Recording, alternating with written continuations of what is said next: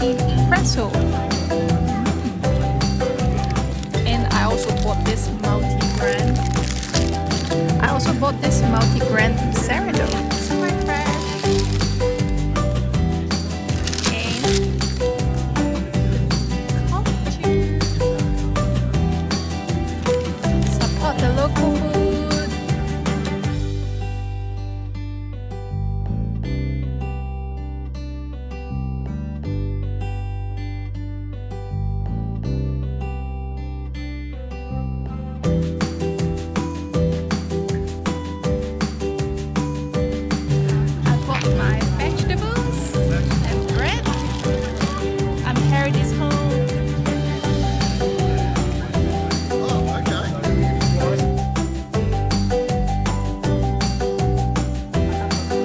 now is